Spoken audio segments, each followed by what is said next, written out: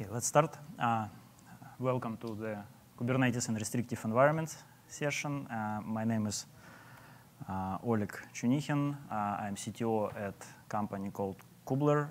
So we work with Kubernetes since its first release in 2015, building Kubernetes platform and helping enterprises to use new cloud native technology stack.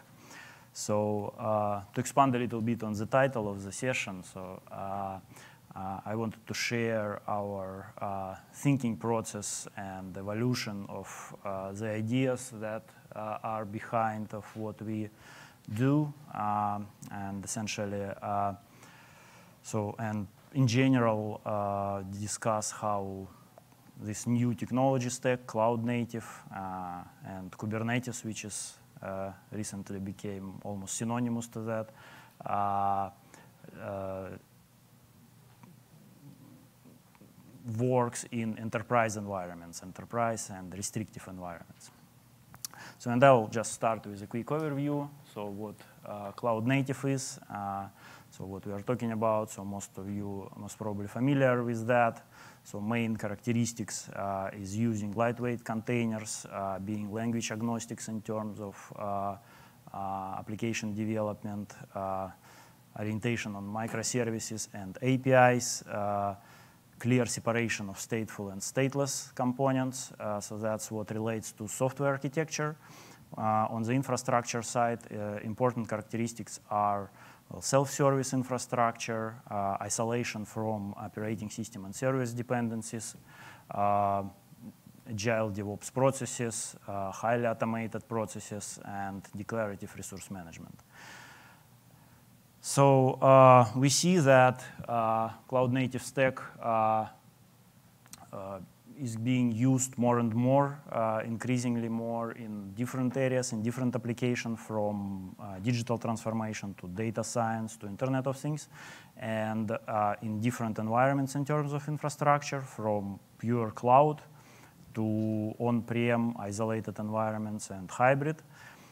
And uh, for a good reason, because uh, so the reason why uh, cloud native technologies are developing so fast is because well, they appeared to improve uh, uh, productivity of DevOps teams. Uh, they didn't appear on just an empty space, so they have a long set of predecessors, starting from SRE, DevOps, 12-factor apps, even virtualization uh, may be considered a step in, in, in that evolution uh, where we disconnected from, uh, tried to isolate us from complexities of infrastructure management and make uh, people who develop and deploy software more and more productive. So, and altogether, uh, they empower IT teams to deliver quickly, reliably, predictably, and seemingly enterprises and larger enterprises must benefit most from that but in reality, uh, adoption of cloud native technologies seems to be lagging behind uh, exactly in uh, larger enterprises uh, if we are not considering like whales like Google and Microsoft who are uh, focusing on IT themselves. Uh, so why is that? Because environments in enterprises usually have certain characteristics that on the first sight may be uh, even contradictory to what cloud native stands on. So, and uh, so that's part of the title in this presentation. So what restrictive environment means. So it enforces certain limitations. Uh, in most cases, uh, we mean lim uh, access limitations, but also limiting options, technology options that you can use, infrastructure options that you can use and requires governance that also sets a, a, specific set of requirements. Uh, if we dig a little bit deeper into those requirements, so most uh, frequently what we see and what uh, uh, complicates using cloud native technologies is, well, first of all, multiple and complex environments, uh, what, what, what is often called hybrid, when you have multiple clouds, when you have different data centers, and at the same time you have some of the teams that need to work with cloud services or need to use elastic compute resources, for example. Uh, one of the uh, strong enterprise requirements is usually centralized and unified management and governance of uh, infrastructure, of software, of packages. Uh, often it's integration or requirements for integration with legacy and uh, or non, not so legacy but already existing components that may not be immediately ready for integration with cloud native components. Security is a large part of that uh, on different layers. Uh, software management, uh, specific requirements and policies for patching, for packages deployment, images, uh, uh, workflows. Uh, adding to that, various challenges and constraints that requirements that, that, that, larger enterprises fa face, starting from legal, uh, various regulations, uh, various set in stone sort of practices and standards that are difficult to change across enterprise. Uh, uh, separation of responsibilities uh, that often exists and also difficult to change overnight when you have different teams and departments even that are responsible for infrastructure management, for software management, and for software development, uh, security, legal. So all that uh, makes it more difficult to uh, use and uh, implement cloud native architectures in, in, in, in, in larger enterprises.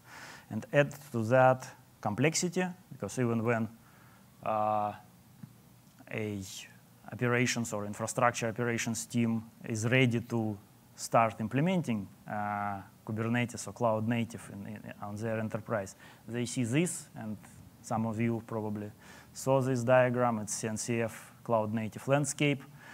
So, and deciding which components uh, of this Lego set uh, should go and uh, eventually comprise your architecture, which, by the way, you don't yet even understand how should look like and uh, uh, how should be set for future development. So it makes, uh, creates sort of pretty high barrier for entry. So uh, considering that, so uh, we thought uh, about what is maybe maybe not most productive, but some of the productive ways of thinking about Kubernetes in this environment. So whether it is just a container orchestration which you use just for those teams who need container management, is it, as some people uh, uh, say, uh, just a step in the evolution from like mainframes 30 years ago to serverless, maybe 10 years from now? Uh, is it just a microservices platform?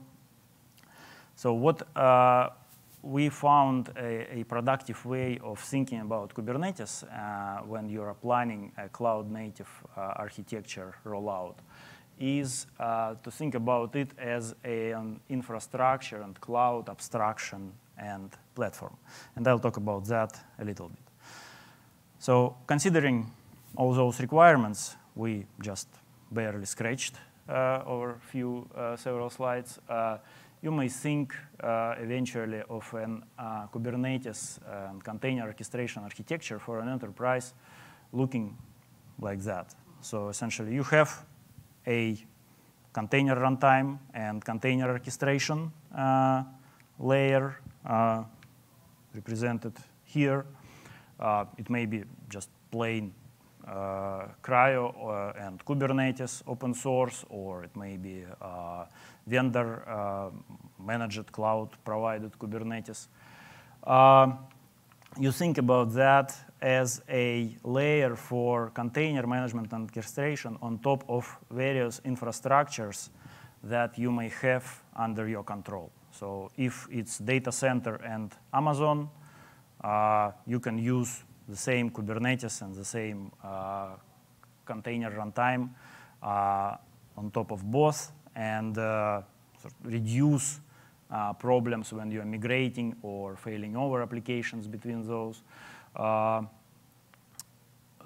so in addition to this foundational layer, uh, you cannot live without a certain harness, uh, operational harness, and uh, security and governance harness, components that uh, enable use of those technologies, uh, of de delivering that platform to different teams inside of your organization in a controllable, governed, uh, secure, safe manner. So, and at least that includes infrastructure and operations automation components.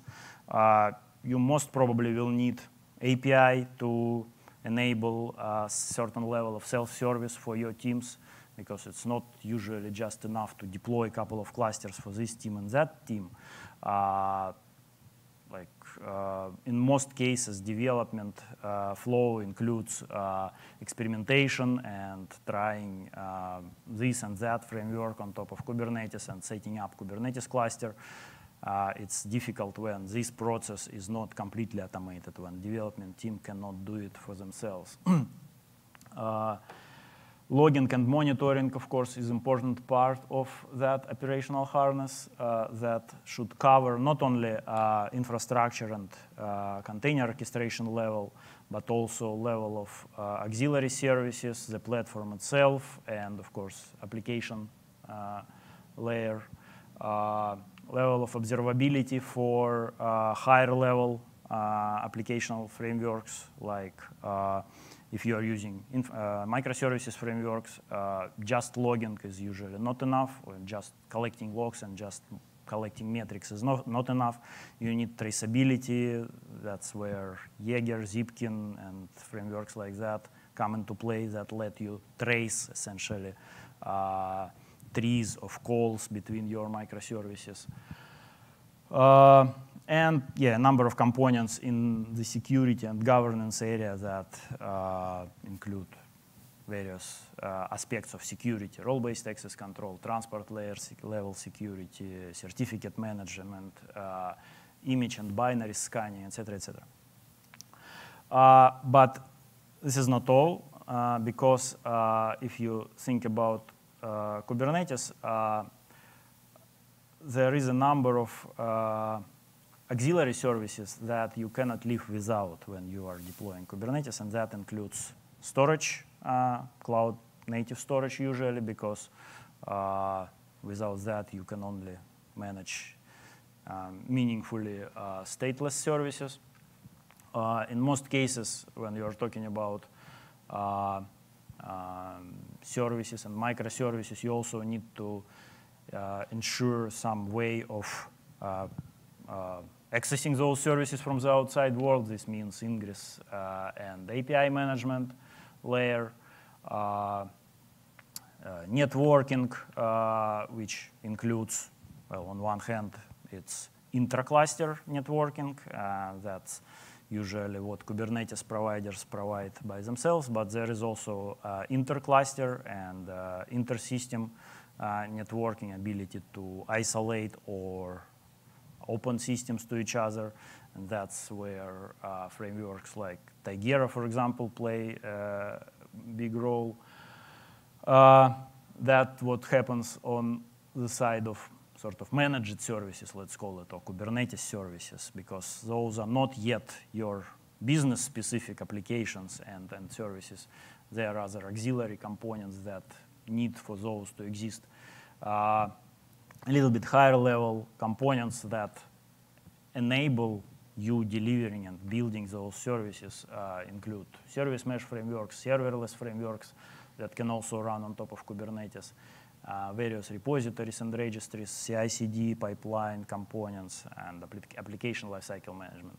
And only after that, uh, you are sort of well set for actually releasing your probably first production application and uh, um, um, leaving it in the wild. So uh, where is that uh, infrastructure slash cloud abstraction and platform is. So it's here. So uh, uh, think about that uh, as applications running on top of Kubernetes. And you immediately see that these guys give you sort of your pocket cloud, your abstraction that uh, unifies various infrastructure providers and delivers compute and storage and uh, other resources, uh, infrastructure level resources, in a standard, uniform way uh, under common operational and governance platform. And these guys that you run on top of your uh, infrastructure abstraction platform converted into the real cloud with real managed services. Uh, think about, for example, here, uh, if you need storage that works across your data center and cloud, you can use uh, cloud native frameworks like Portworx or Ceph and Rook if you uh, think about uh, fully uh, open, open source alternatives. Uh, your CI/CD pipeline may be based on Jenkins and Nexus and run again on top of Kubernetes in, in your data center, or you can migrate it into Azure while your real applications will run in AWS. Or some team may prefer Jenkins X or Circle CI. Again, if you think about that as a separable component that may be a managed service or maybe a hosted service, uh, but hosted on top of this infrastructure abstraction platform, uh, you make your life easier on one hand and you make your architecture more future ready in a sense. so, uh, so thinking about that, uh, so now I probably will switch to uh, overview of uh, some uh, solutions that we came to over uh, uh, over recent couple of years when we uh, essentially built that architecture based on um, on open source components and certain and, and, and, the idea that this universal architecture will cover need of your general uh, enterprise. So, uh, and I'll start with uh, this uh, Kubernetes management, essentially, component. So because uh, one of the requirements that uh, I mentioned when talking about enterprise requirements and challenges is centralization and unification of, of your, essentially, of, of management of your assets. And as soon as you start providing Kubernetes uh, as a service inside of your organization, and again, this follows from the fact that usually your infrastructure management team gets tasked with this uh, uh, in, in, in, in your average uh, enterprise. So you need some level of essentially visibility of common uh, single pane of glass where you see all your clusters, where you can manage your clusters. So, and that means also API, uh, sort of certain uh, uh, operations unifications and infrastructure management, which may include uh, cost controls, et cetera, et cetera. So that uh, may be covered to some degree by frameworks that Uh, being developed under uh, Kubernetes umbrella, uh, such as uh, uh Cluster API, for example. Group uh, made a large progress in this area. unification of cloud provider management, so ability to uniformly manage various infrastructure elements in different, with different infrastructure providers using same API and same central registry of your clusters and infrastructure. So that uh, component usually uh, needs to include uh, log collection and monitoring, and not just disparate Prometheus and Elasticsearch deployed into each and every cluster, because that's rarely enough uh, for uh, even average scale uh, cluster Kubernetes platform deployment. So you need some level of centralization of log collection um, and, and monitoring metrics collection and analytics. So uh, uh, um, identity and access management integration components because again, rarely uh, Kubernetes is the only uh, um, component that requires uh, some level of centralization for security and access management. And uh, you need to integrate it with existing enterprise identity management systems. and components like binary repositories, image repositories, uh, image management components that often include scanning, security scanning, and uh, uh, for images and uh, image management and approval workflow. Uh, so what uh, we found working well for different components like that an architecture with uh, identity broker, uh, essentially, uh, when you have a registry of your clusters and you, you, you, have a benefit of setting, setting them up uniformly in the same way. So Kubernetes by itself supports integration with OIDC identity providers. Uh, uh, but uh, what's beneficial is to have a identity broker which essentially dedic is dedicated to Kubernetes RBAC management.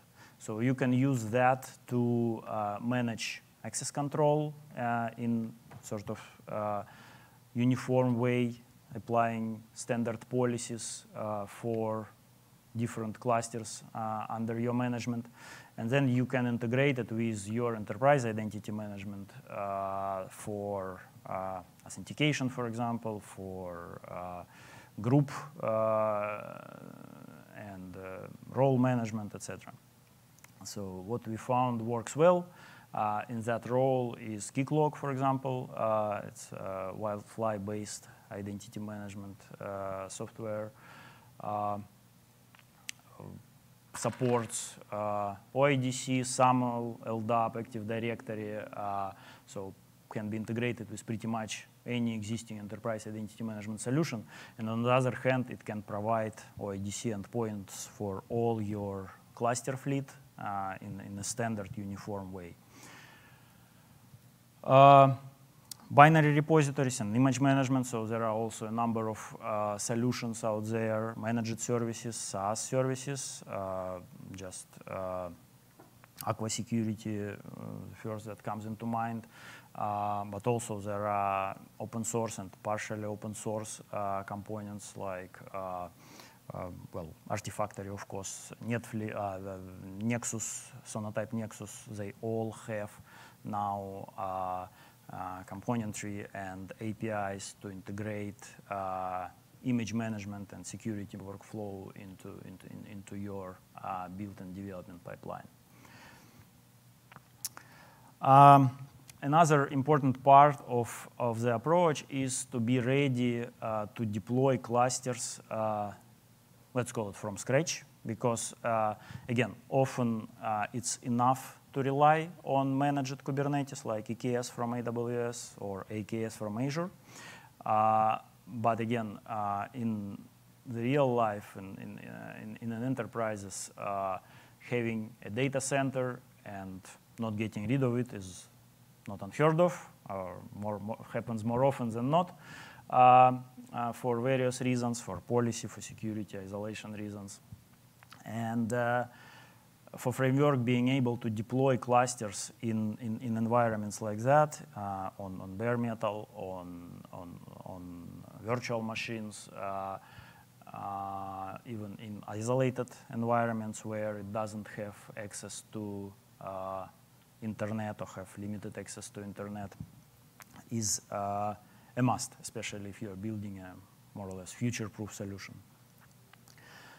So, and yeah, so this, uh, here I usually talk about uh, certain characteristics of the clusters that you deploy by yourself. Uh, we don't have too much time today, so I won't go into too much details. Uh, but the idea is that clusters that are deployed by that control center uh, need to still stay independent in terms of uh, their recovery from that control center. So if it goes down, the cluster needs to be able to exist by itself, needs to be able to recover by itself. So for that, uh, what we found a good solution is, is uh, distributed uh, operations logic that usually is uh, uh, implemented by uh, operations agent that is tasked with preparing instances for Kubernetes, making sure that they connect into a single Kubernetes cluster in a secure way. Uh, usually, for that to happen, uh, they require certain level of uh, interconnection uh, orchestration, so they can either talk directly or use we uh, more, more, more often uh, use an architecture with some intermediate orchestration store. So essentially a secure store which can be used to share uh, secrets, keys, for example, and some operations, operational information. Um, running uh, most of the Kubernetes components as uh, uh, containers also usually helps, and it became more or less standard in different Kubernetes products over last year because it helps with uh, portability clearly, uh, helps support multiple different operating systems, etc., etc. So uh,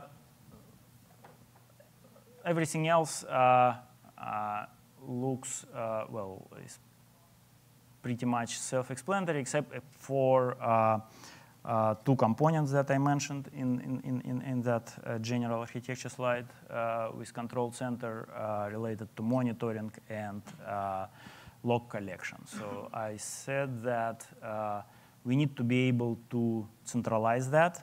And in most cases, it's, it's easiest and most reliable uh, when you just use uh, a managed service, uh, something like Splunk, or if, if you rely on AWS, it's AWS logs, etc., etc. Uh, but if you are in a uh, heterogeneous environment or for some reason cannot rely uh, or share your information with SaaS services, etc., uh, uh, you may have to essentially maintain uh, those components uh, by yourself.